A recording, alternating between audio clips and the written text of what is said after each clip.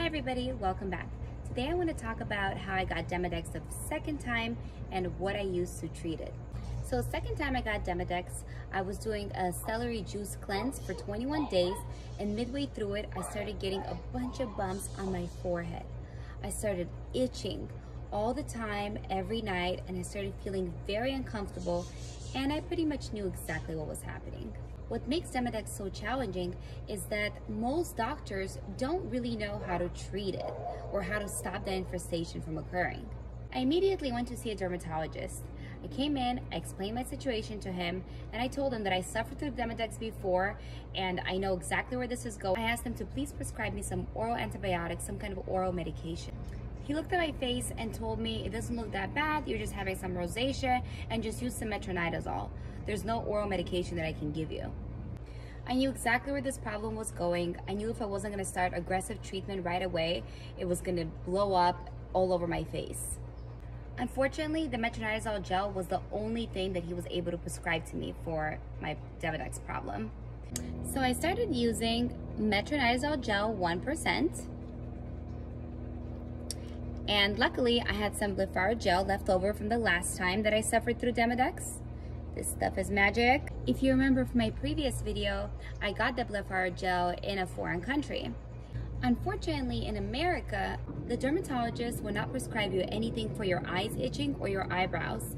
You actually need to go see an optometrist for that, and not every single optometrist deals with that. I actually had to call a bunch of different places to find out who actually treats this problem. I did find one eventually, but they didn't have anything that could help me for my eyes. They had some uh, Cliradex wipes and some other uh, wipes with tea tree oil, but that did not help me at all. It actually made my eyes pretty itchy. So I was using metronidazole and Blefarogel, and this helped me with the itchiness in the eyes, but unfortunately my face was not getting better. In fact, it was getting worse because I had no oral antibiotic and nobody can help me get it here. As you know from my previous video, I used ornidazole uh, along with metronidazole gel and Blefarogel the first time to treat this problem. So I immediately started searching for a way to find ornidazole. I ended up calling one of my friends that had a doctor in Belarus. I reached out to that doctor via uh, FaceTime and WhatsApp, and she was able to get me ornidazole. The problem was that it was coming from Belarus, so it took so long to get to America. So by the time I did receive the medication, my face was already covered in Demodex and little bumps, white bumps, and the rash, and I was very uncomfortable and I was very itchy. I started the medication immediately, and I did a little bit of a different treatment from last time. Instead of taking it in two different courses, I actually took ornidazole for 20 days straight. Along with the ornidazole, she sent me a medication called Demazole. Demazole. This I used around my eyes and basically all over my face to prevent from itching and from them being able to breathe morning and night. I later became allergic to this, so I couldn't use it for too long. But it worked great while I wasn't allergic. And my face was getting a lot better. During this time, I had plans to go to Miami for a bachelorette and also a trip to the Bahamas with my other friend. So I flew into Florida and the second I got there, the news was talking about the pandemic, the cases were rising, the NBA got shut down, and I was becoming very stressed out.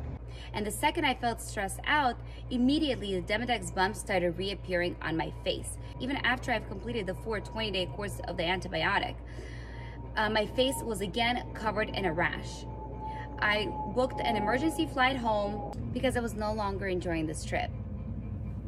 So I came home and again, I figured I'm gonna try another set of ornidazole. I started taking the ornidazole and this time I had an allergic reaction and these bumps started appearing well, I had extra bumps appearing all over my face and down my arms and my neck, and I was completely allergic to ornidazole. I could no longer treat my face with the exact same treatment as the first round of Demodex. I was getting really worried because I had no idea what I would do next. I then saw a different doctor that put me on doxycycline and metronidazole gel, but that didn't help me at all.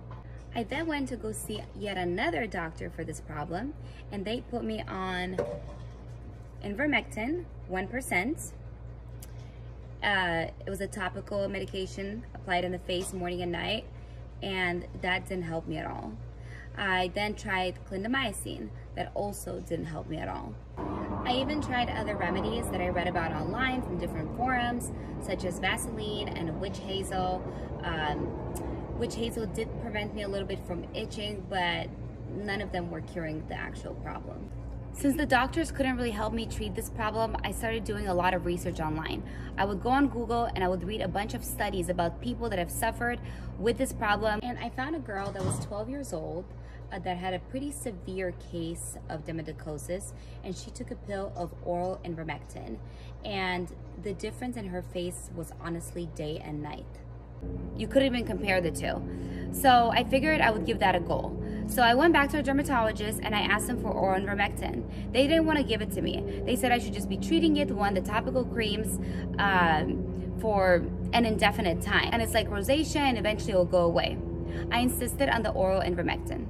So I took the first pill of oral ivermectin, which is based on your body weight, and my inflammation lowered immediately and my skin went from being really bumpy to more smooth. I mean, you can still feel the little, like, I felt them inside of me. It was just these little, like, things crawling. I don't know, I think it paralyzed them, but you can feel them all in the pores. It was such a disgusting feeling, but the inflammation was gone. It wasn't so red and it wasn't so poofy. But as I touched my face, it was just so disgusting. These little bumps everywhere down my cheeks. Oh, I felt so uncomfortable and so disgusted, uh, but it did look better. I then repeated a treatment of oral ivermectin, uh, I think in seven or six days, within a week. Uh, and that gave me actually a really strange reaction. I had like heart palpitations and I really did not feel good. I almost fainted actually, but my face did look better after the second dose. I then took a third dose of oral ivermectin, but I did give it a long time between the second dose. I think I gave it a month or a month and a half. I'm not, I don't remember anymore. Uh, but this time, it did not have much of an effect on my skin. So my problem definitely was not fixed. I've tried so many different treatments. I've spent thousands of dollars on doctor visits. I didn't know what to do, but just to give you some idea, this is some of the medication that I used. No one should ever have to take this much medication. I really hope that we will find a solution for you as well. I was devastated. I couldn't treat this problem. I couldn't wear a mask during a pandemic because everything would just get worse and itchy on my face. I couldn't go to work. I couldn't go outside. I felt so uncomfortable in my own skin and I didn't know what to do. So I went on YouTube and I started searching Demodex, information on Demodex, and I found a girl that briefly mentioned uh, Ted's borax solution. And I'll reference her in the comments as well, so you can look at how she treated her problem. Ted's borax solution was magic. Uh, it's just hydrogen peroxide 3%, distilled water, and boron. Ted's borax solution was magic. In the next video, I'll actually make the solution in front of you so you know exactly how to make it. I would apply it morning and night on my face. My skin would get very sensitive, very glossy, very tight, almost like a layer of my skin was like missing. Uh, but it cured my Demodex. The problem that I had was with consistency. Every time my skin would look better, I would stop using the borax solution and then my skin would just blow up all over again and I would start itching and Demodex was everywhere. So the key is to use the solution consistently. Do not take breaks.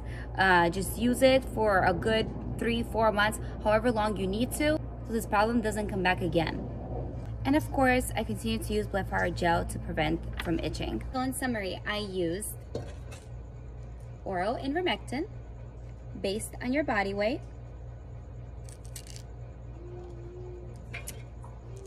Blefarogel to stop the itching on my eyebrows and eyes, and borax solution morning and night all over my face.